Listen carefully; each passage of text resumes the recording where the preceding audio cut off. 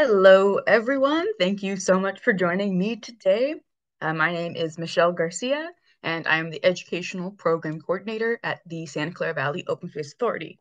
And if you are here for a webinar about moths, you are in the right place.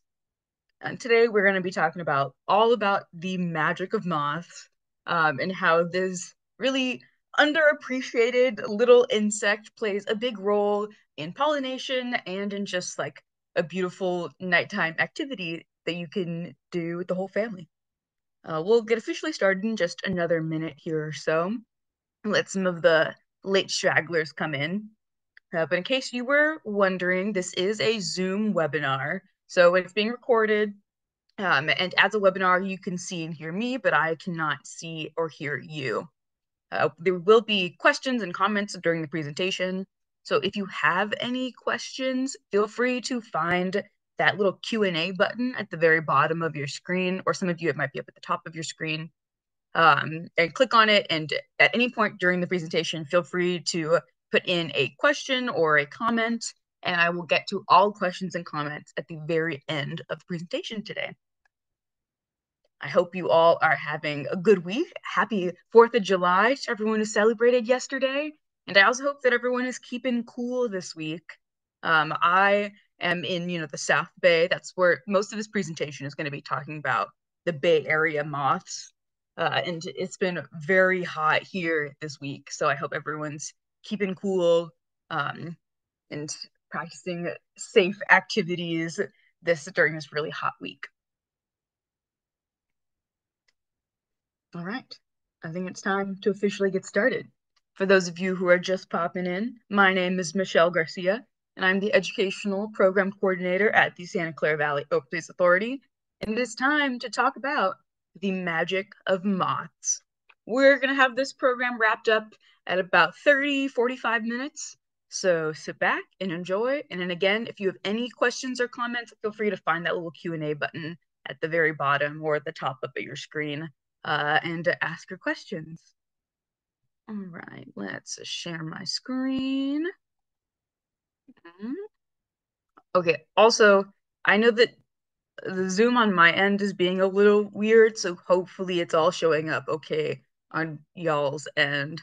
Um, I don't know why, but it's giving me like that my internet is not doing great, even though it's the same internet I always use. So hopefully it's coming out okay on your end too. Mm. Let me share my screen, please.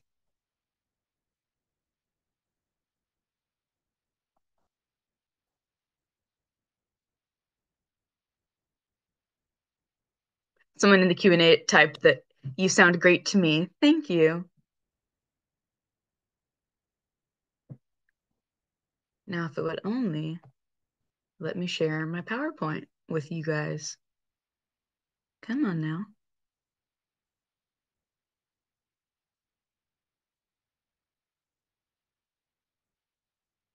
That's so strange. Okay, I'm gonna try one more thing.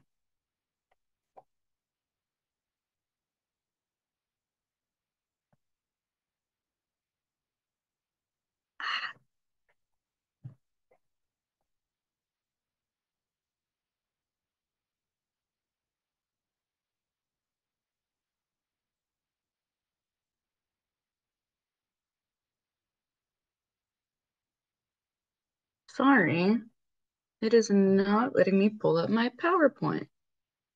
All right, um, just do high screen. There we go.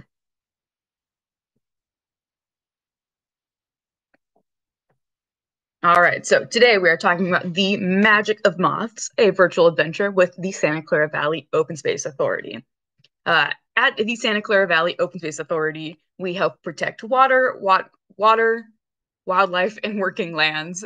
Uh, we're a like government-based nature preserve agency in South San Jose. We manage four different preserves: Coyote Valley, Sierra Vista, Rancho Canada del Oro, and the newly opened Máyyan 'Ooyákma Coyote Ridge.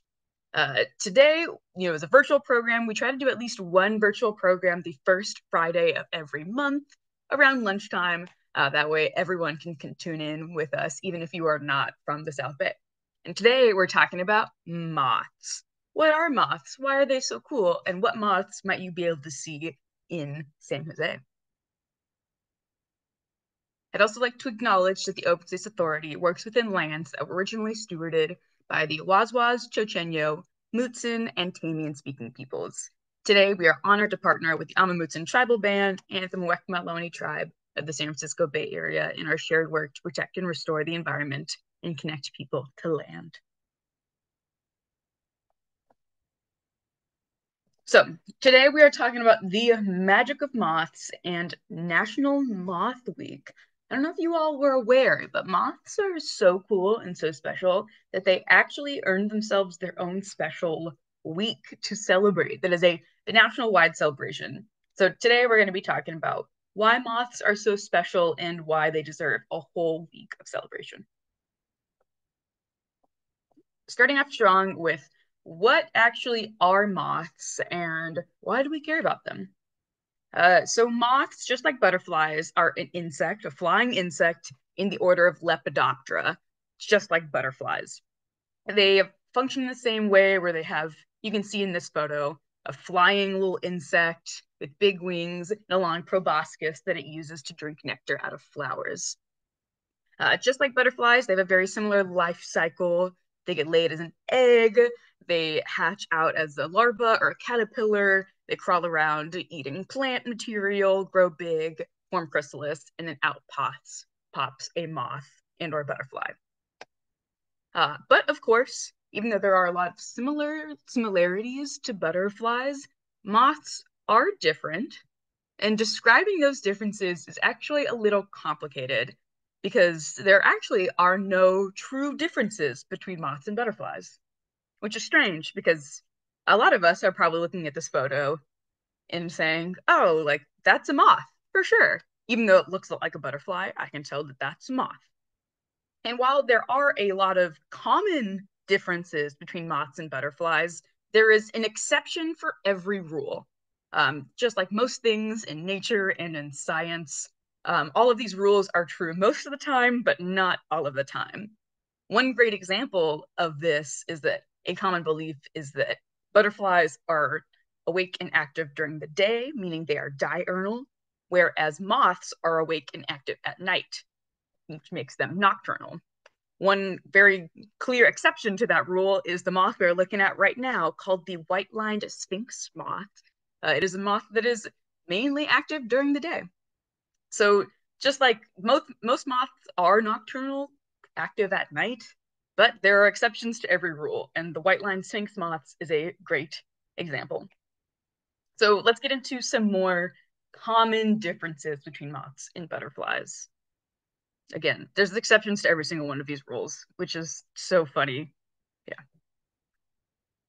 So I one common difference that I hear like anecdotally that gets pointed out between moths and butterflies is that moths are just ugly butterflies, which is so so silly. Moths are beautiful creatures. Um, in this photo, I have uh, a butterfly, a bay checker spot butterfly, pictured to the far left hand side of the screen and then on the right hand side, I have two photos of moths. And I think the uh, photo of the moth that I have displayed in the very middle um, really proves that moths are not just ugly butterflies. Moths are beautiful and oftentimes really cute. Uh, the photo that I have in the middle of the upper screen is called a rosy maple moth. They can be found out on the East Coast, and that is its actual coloration. It is this like relatively large, fuzzy pink and yellow moth that is so cute and so beautiful. Uh, I feel like I've kind of chosen like a more cute moth to show you, but there are also like very beautiful, ornate, detailed moths. Um, they get a bad rap. I feel like a lot of moths are kind of commonly brown, but it's simply not true that moths are just ugly butterflies. Uh, moths are beautiful too. We've also already talked about that most moths are nocturnal, whereas most butterflies are diurnal. Again, not true for all of them, but true for most. Um, another way you can kind of tell the difference between moths and butterflies is by looking at their antennae or antenna.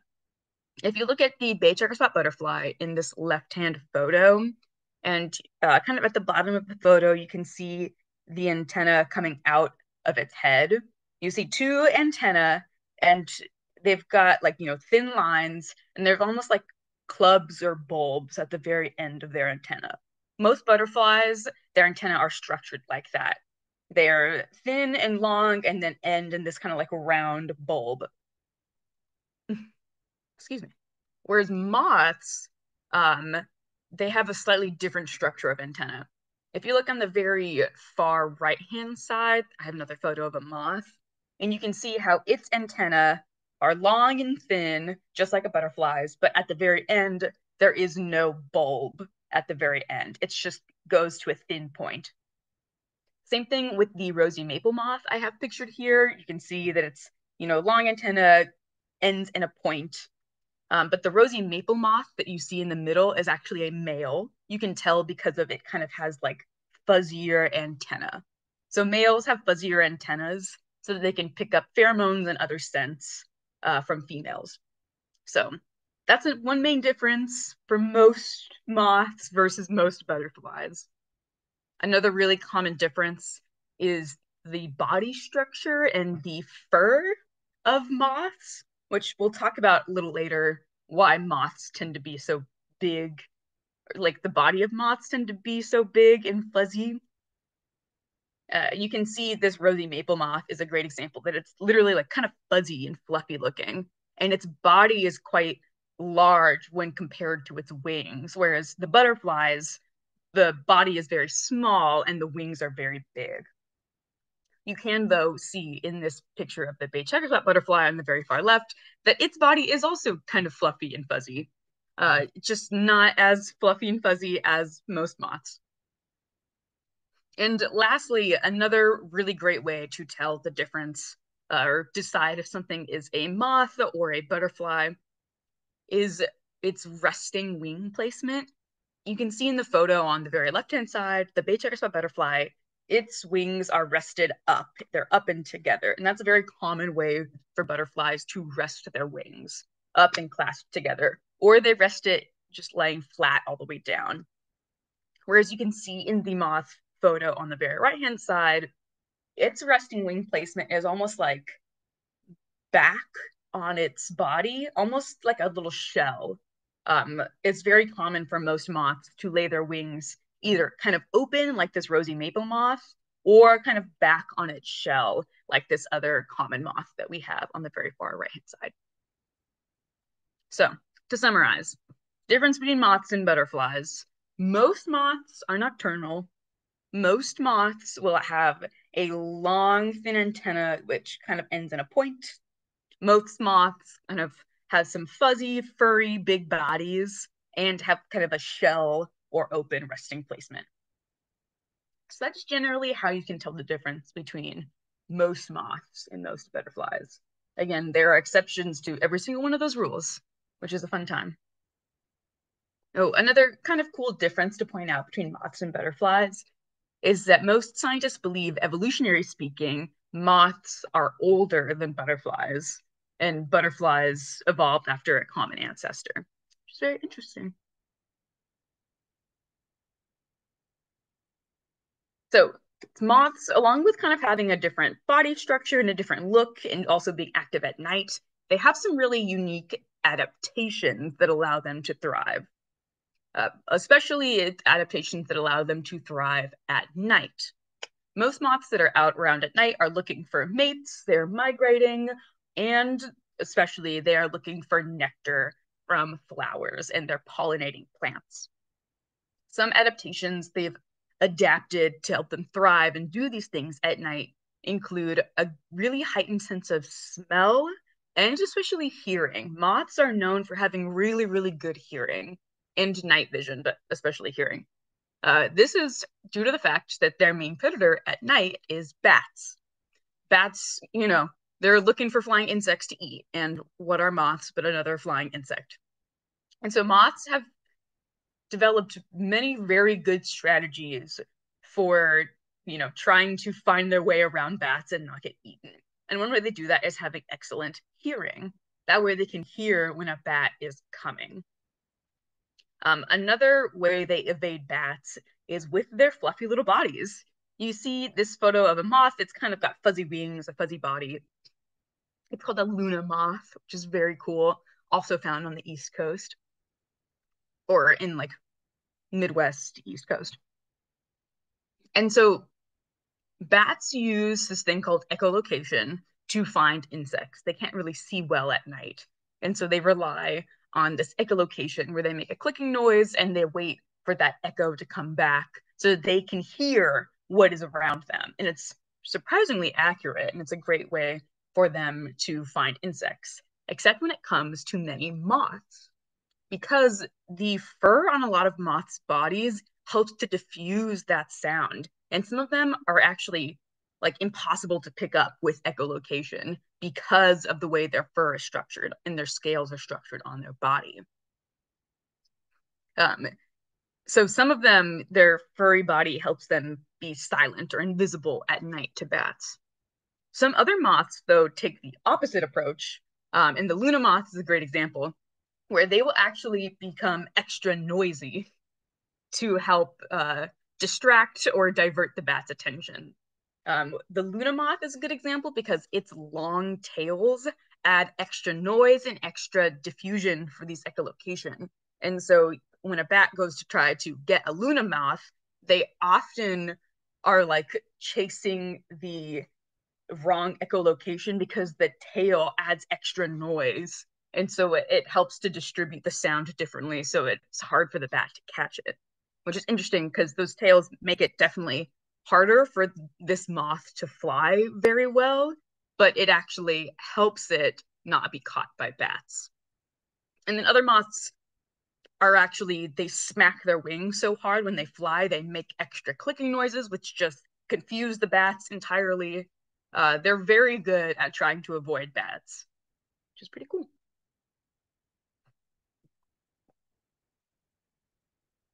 Now, they are doing this all for the sake to get their next meal, which is getting nectar from a plant and pollinating these plants. Uh, due to a lot of more recent research, they found that moths are very undervalued pollinators. They do an amazing job at pollination, but because they are more active at night, whereas most butterflies and bees are more active during the day, they have not been getting the same level of research. But they found that moths actually pollinate on average more species than bees or butterflies. Not only do they pollinate more diverse species than bees or butterflies, but they also pollinate a lot of the same species. So that way, that species is getting double the amount of pollination through different access of pollinators, which is really cool. They also tend to visit plants that bees and butterflies do not visit, this doesn't come to surprise to me because there's a lot of plants that bloom in the evening slash night. And that is the plants that often are overlooked by bees and butterflies and the plants that moths solely pollinate. Also, their big fuzzy bodies often make them very efficient pollinators. Uh, there are studies done where they like swabbed the pollen on different moths and they found that moths can carry more pollen for a longer amount of time. Um, moths, moths are the primary pollinators of plants like honeysuckle, morning glory, and yucca. They've also found that moths are pretty determined pollinators. They will really, they're not afraid to like sit on a flower and really search for ne nectar, which is really important for plants like yucca because the nectar is really far in the flower. It's really hard to get to. And moths are one of those pollinators that are not afraid to work hard to get to their nectar uh, and then they pollinate more, which is really cool. There's been more and more research lately about how moths pollinate and how effective they are, but especially as we continue into this conversation where we're seeing less pollinators and a decrease in bee species and butterfly species, um, there's more and more conversation about including the moth in more research just to figure out exactly what role they play in the pollination of these different plants and how important they are. So let's think more about what moths can we find in the Bay Area. There are hundreds of species of moth in California alone. Um, and so I highly recommend using something like iNaturalist or Seek. If you don't know what iNaturalist or Seek is, they're basically these two free apps you can download on your phone and you can take a photo of a moth and it'll help you identify what exactly it is or what you're looking at. Uh, which is really nice because, like I said, there's a lot of different species of moth. Uh, now, the moth that we're looking at in this photo is called an emperor moth or a silk moth. Um, and although a moth like this might be easy to identify, there are a lot of just smaller brown moths uh, that are called, let me check my notes, that are like Tortrix moths or in like the Tortrix family, which can be really hard to differentiate. And so it's nice to have some kind of tool to help you identify them. So iNaturalist and Seek are great options.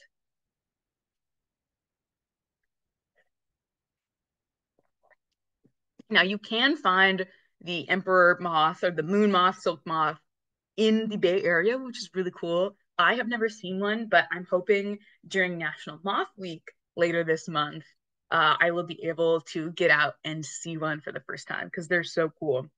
There's um, a species of moth in this family that has up to a six inch wingspan. It's one of the biggest moths you can find, which is very cool. More moths that you can find in California or specifically in the Bay Area are shown in this photo. Um, in the upper left-hand slide, we have the plume moth. The plume moth is the one with the weird looking wings that are like sticks and you don't see any antenna sticking out in front. Again, there's an exception to every rule. The plume moth is a weird little exception, but I think they're so cool because they have such a specific uh, shape and structure to them. They almost look dragonfly-ish. And so it's nice when something is unique like that. So that way you can identify it easily. And there are a lot of plume moths in the Bay Area. So if you go out mothing later this month, you will see plume moths. There's also owlet moths, um, which is shown in the very upper middle. The very upper right hand side is another Tortrix moth, another kind of like brown moth that likes to keep its wings down on its back, almost like a little shell. You'll see a lot of those if you go out mothing. On the lower left hand side, so the one that's underneath the plume moth, that like white fluffy one, it's called a, a salt marsh moth. You'll probably see these closer um, in like North San Jose or kind of in San Francisco or around the bay because they love salty air and so salt marsh moth. You'll also probably find the glassy winged moth, which is the moth at the very bottom in the middle. Uh, it's a very cool moth and it's quite common, especially in the South Bay. So I'm also excited to maybe find one of those. And last but not least, the very bottom right hand side, the moth that you see that's in that yellow flower is called a small Heliothodes moth. I think I said that right. Heliothodes moth. Um, and that Heliothodes moth is a moth that's commonly active during the day and a moth that is very commonly mistaken for a butterfly because it is out and active during the day. But as you can see in this photo on the very bottom right hand side, it's got those long antennas that go out to a point. It's got a weird fuzzy body and its wings are kind of, its resting wing position is pointing backwards, kind of towards its back. So for those reasons, we can determine that it's a moth and not a butterfly. And so when you're out in the Bay Area, keep an eye out because whether it's at night or during the day, you are probably going to get the chance to see a moth doing its thing, which is very cool because it's a really hardworking pollinator that we depend on and we overlook very often. So now that you know that moths are very important and are often very overlooked, how can we or how can you help support these wonderful little creatures? Uh, and I would suggest, I would strongly suggest you get out there during National Moth Week to celebrate these little critters. National Moth Week is in July. It's July 20th through the 28th. And National Moth Week is basically set up and designed to correct the problem of moths being overlooked. Because most moths are active at night, uh, people often just don't get the chance to see or appreciate them that much. Um, oftentimes, moths are considered like a pest or a nuisance, but most moths that are active at night are actually really beautiful and are serving a really important purpose ecologically by pollinating. So National Moth Week is designed to inspire people and engage with people to get them outside at night and try to see moths. So how can you go out and see moths during National Moth Week this year? Mothing is pretty easy. It's called mothing, just like birding. If you want to go out and see birds, if you want to go out and see moths, it's called mothing. Um, if you, all you have to do is go out at night, find a light source. So whether that's your porch light, a flashlight, or if you have a UV light, that's also really effective for helping find moths. And some kind of white surface is best. So whether it's a white sheet or a white blanket that you hang up, point the light out, uh, and wait for moths to come. Moths are very attractive to light at night. People, scientists don't really know why that is. There's no official answer for that yet. There's a common theory that it's because they rely on the moon to help navigate them. And so they just are drawn to sources of light for that reason. Uh, scientists don't have an actual answer. But if you shine a white on a white source or white surface, a white wall, a white blanket, you will get many insects, including moths. So all you need a white sheet, a light source, and some way to identify what moths you're looking at, or a way to take photos of the moths. Um, one amazing thing to do is if you're out there and you're celebrating National Moth Week, you're looking at moths, take photos of the moths you find and try to post them if you want to go above and beyond. That way, other people can get to see the moths that you found and help you try to identify them. A great way to do this is again using iNaturalist or Seek. Um, during if you check out nationalmothweek.org, they actually highly encourage you to become a citizen scientist and take photos on iNaturalist while you're out mothing and submit them to the uh, to the crowd at iNaturalist so they can help you identify and help record the different moths that you're seeing all over the world or all over the nation. This is a great way to, you know, kind of be a little bit of a scientist. You're IDing these nat- natural insects that you find, and it helps to record the and add to the database of knowing what moths are where because like again moths are under research because they're often out at night and so even just the little bit of science that we can do in our backyard helps add to the record of knowing what moths are where and when.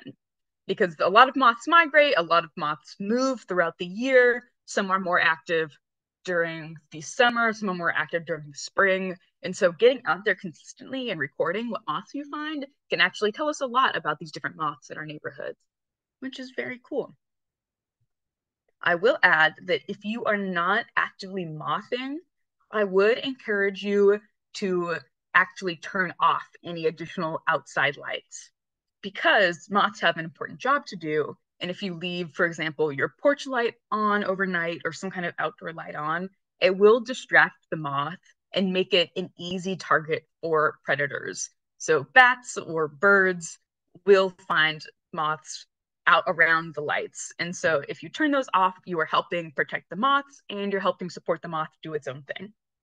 So when you're mothing, get out that sheet, get out that light, uh, and see what moth you can spot. But if you're not mothing, make sure you turn those outside lights off. That way you're giving the moths the space to do their own thing. Nice. We are at 1228 and it's time for any questions. Thank you all so much for joining me during that little presentation. I hope you enjoyed it. And again, feel free, I'm gonna ask questions now, help answer questions now. So if you have any questions, put them in that little Q&A box. And,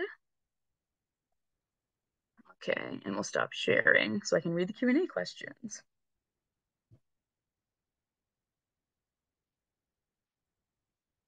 One person asked if I will be sending out the recording of this presentation.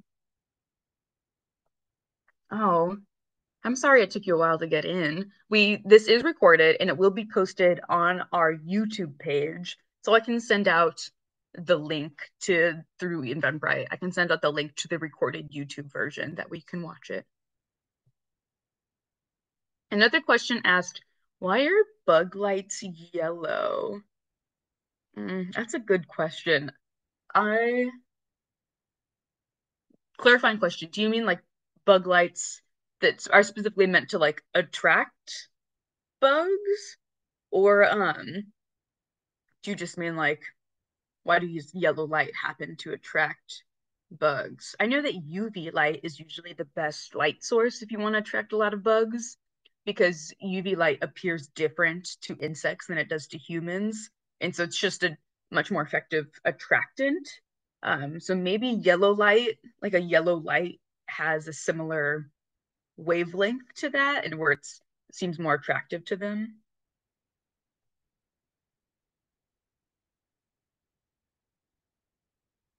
Oh.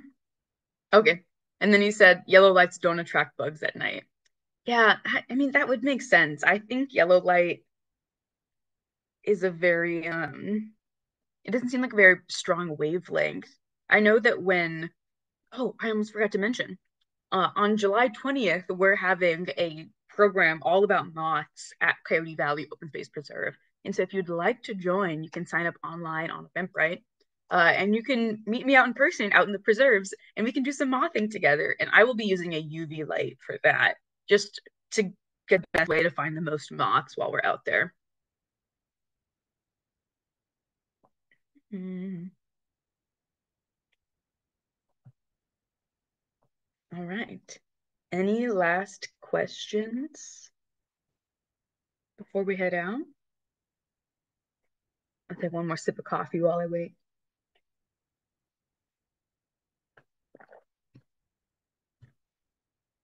All right. Well, then, thank you all so much for joining me. Uh, again, my name is Michelle Garcia, and we have a free online virtual program at least once a month, usually the first Friday of every month. So uh, tune in next month uh, for our next virtual program. Thanks, everyone. I hope to see you all on the preserve soon. Bye bye.